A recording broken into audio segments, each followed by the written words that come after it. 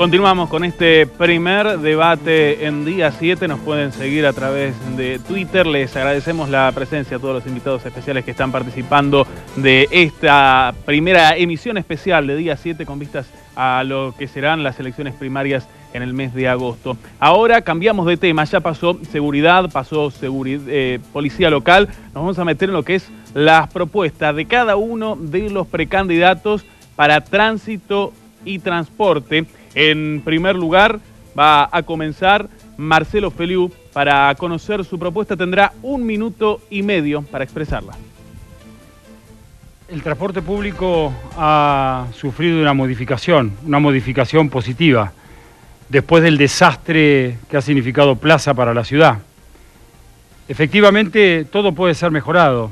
Nosotros creemos que hay que eh, ver la asignación de los millonarios subsidios que recibe el transporte público de la ciudad, tanto municipales como del gobierno nacional, y tenemos que ver cómo eficientizamos también la extensión de recorridos y tal vez algunas modificaciones, producto de que tenemos que seguir aspirando a una, a una mejora.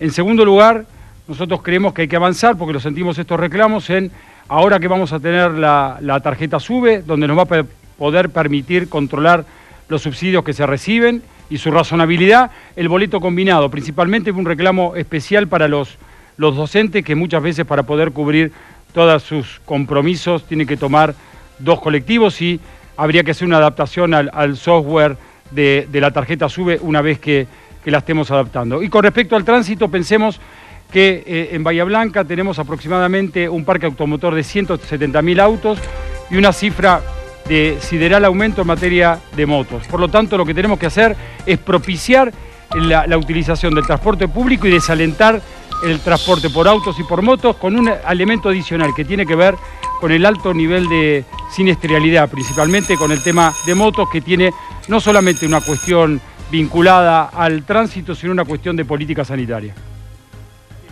es minuto y medio para Marcelo Feliu. Ahora es el turno de Iván Budassi. El tema es tránsito y transporte en Bahía Blanca. En materia de tránsito en Bahía Blanca hay que dejar de sufrir el tránsito.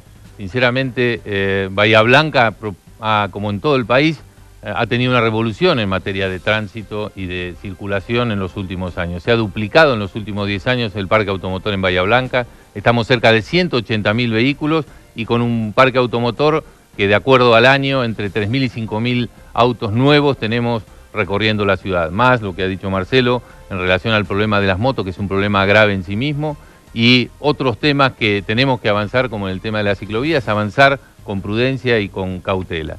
Eh, el tema del tránsito, eh, necesitamos básicamente tener un tránsito fluido, ordenado, ágil, amigable, porque tenemos que tener en cuenta que los 15 minutos que se ganan en cada viaje importan más tiempo, más días a lo largo del año para estar eh, con la familia. El, nuevo intendente básicamente lo que va a tener que tener es una capacidad de ejecución de estas políticas, porque el sistema de, movilidad sustentable que el Ejecutivo ha discutido en los últimos años, en teoría era un buen sistema, pero tuvo dos grandes fallas. Primero, la falta de participación general de la ciudadanía desde el municipio cuando me tocó trabajar o en ARBA lo que hemos hecho cada vez que se toma una decisión eh, de carácter colectivo que puede influir a muchas personas es publicarla y discutirla. Entonces, falta de discusión de estas políticas y también deficiencias al momento de la ejecución.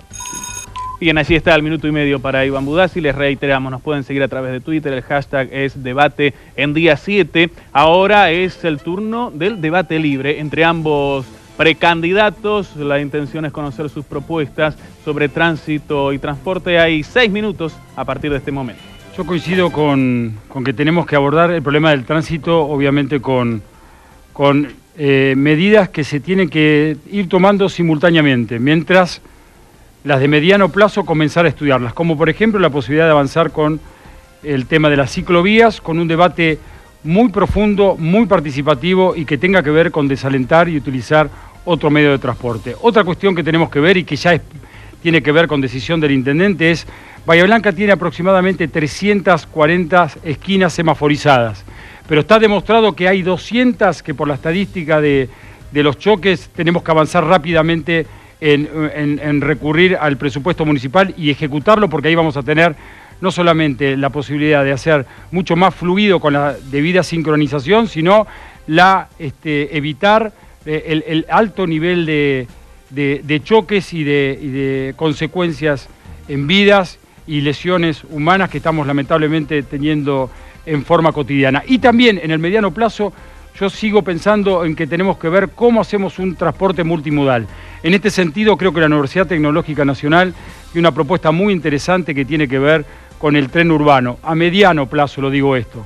Ya estaríamos en condiciones de que con la debida inversión, en este caso nacional, un tren urbano que podría salir del CONICET, pasar por el Cibechi, por Juan Domingo Perón, el, Parque de Mayo para terminar en la Estación Sud.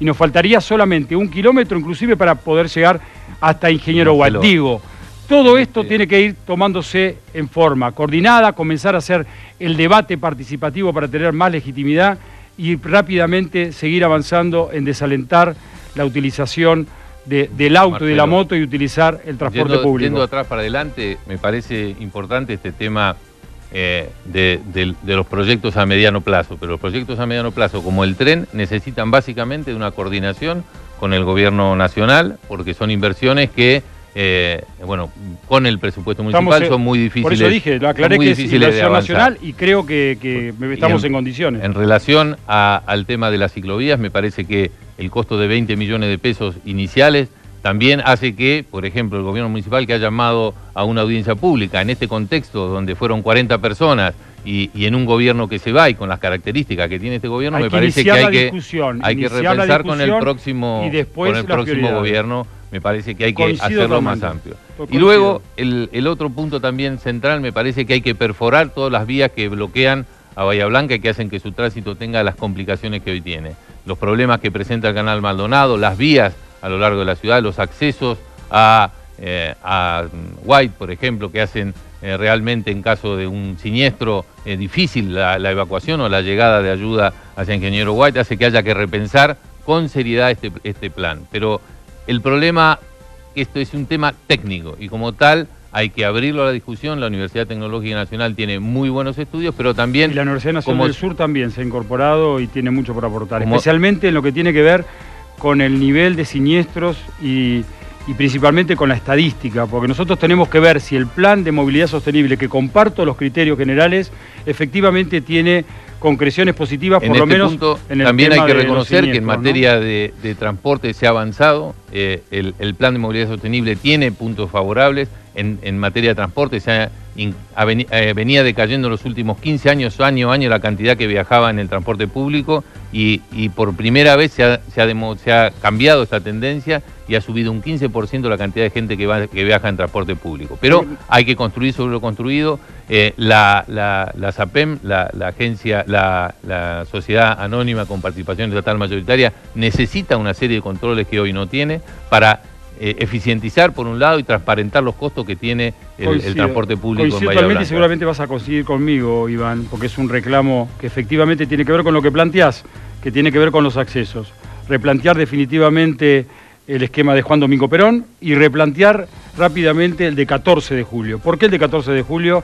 Para hacerlo avenida. ¿Por qué? Porque este es un reclamo de todas las instituciones intermedias vinculadas a, a 14 de julio, Nacional, Villamapu, Patagonia, eh, hasta llegar inclusive teniendo presente el entonces pero ese proyecto ya existe. Ya existe ya existe. tenemos... está presentado en la municipalidad y se puede aplicar por etapas. Eso claramente descomprimiría desde 14, totalmente 14 de julio y después el, otro el otro plano que, ha demostrado una total falta de gestión que es eh, desde la rotonda del Cholo y todo lo que se planificó, pero hace cuatro años que no se avanza, que es todo el, nudo logístico que está eh, mirando hacia el puerto. Y vas a coincidir conmigo, porque lo planteaste y coincido con vos, que el tema del Maldonado tiene que, digamos, hay que construir rápidamente sobre el Maldonado reemplazar los puentes peatonales por vehiculares. que en calle Tomba, en calle más fuerte, allí hay que penetrar. una rémora que le trae muchos inconvenientes, especialmente a la zona norte, así que coincido con vos en que esas son obras prioritarias. Bueno, pero básicamente en este punto creo que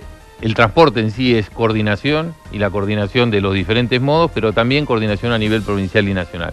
Y me parece que en este aspecto eh, tenemos que celebrar que vamos a tener un gobierno de Daniel Scioli en, la nación, porque va a ser el que va a proporcionar los fondos con la visión, eh, después de haber padecido las angustias económicas que seguimos padeciendo en la provincia de Buenos Aires, el que va a proporcionar eh, el restablecimiento de diversos fondos para que puedan llegar este dinero a Bahía Blanca y que pueda coordinar con quienes tenemos eh, vinculación con él y con quien ejerza en definitiva el gobierno de Bahía Blanca. Yo estoy convencido, Iván, que, tu presencia cerca del, futuro presidente va a significar una enorme ayuda para la ciudad y que por supuesto la, la descuento. Y claramente cualquiera de las soluciones de los problemas estructurales que tiene Bahía Blanca, estamos ante una oportunidad inmensa para comenzar a resolverlos y tiene que ver precisamente con una, una madurez de poder coordinar nación, provincia y municipio. Cuando eso se hizo durante el gobierno de Cristian, me parece que se avanzó mucho en muchos aspectos.